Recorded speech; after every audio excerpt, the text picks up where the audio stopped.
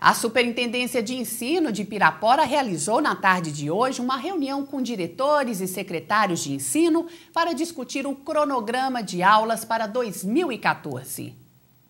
Cerca de 95 professores, vice-diretores e secretários de escolas estão participando de uma reunião aqui na Superintendência Regional de Ensino. Agora eu vou conversar com a secretária de Educação, né?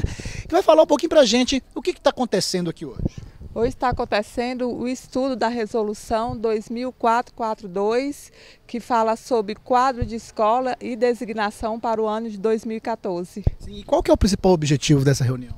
O objetivo é esclarecer, tirar dúvida dos diretores, secretários e vice-diretores para o início do ano, para é, a designação de professores de todo o quadro da escola. Sim, é, assuntos como que, por exemplo, estão sendo abordados? Então, é a diuturnização dos turnos, que vai ter os turnos preferenciais é, nas escolas estaduais, que vai ser durante o dia.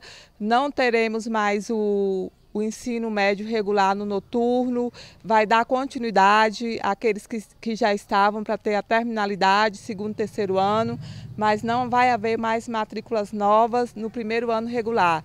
Vai ter sim o, o, EJA, né? O EJA vai, vai haver no noturno e os projetos como Pronatex, é, magistérios e outros cursos a mais que o governo vem oferecer. Então tivemos algumas mudanças para o ano de 2014.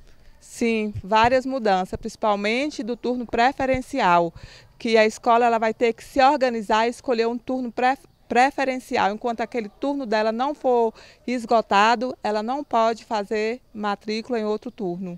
Para os alunos que trabalhadores que querem ingressar no ensino regular no noturno, como eu acabei de falar, que não vai haver mais, tem uma exceção. A resolução fala dessa exceção, que são alunos maiores de 16 anos, trabalhadores, comprovadamente com carteira assinada, ou menores aprendizes acima de 14 anos, comprovadamente também com carteira assinada. Se eles quiserem ir para o noturno, eles é, têm que comprovar que eles trabalham realmente. E os pais também têm que ficar espertos, é. porque se esquecer o dia da matrícula, Fica complicado. Fica complicado. As matrículas elas vão iniciar dia 16 e vai até o dia 20 de dezembro. E todas as escolas é, vão receber, já vão receber uma lista nominal é, com o nome dos alunos que irão matricular em cada escola, porque esse ano nós vamos fazer o zoneamento como fala a lei, que o aluno ele tem que estudar prefer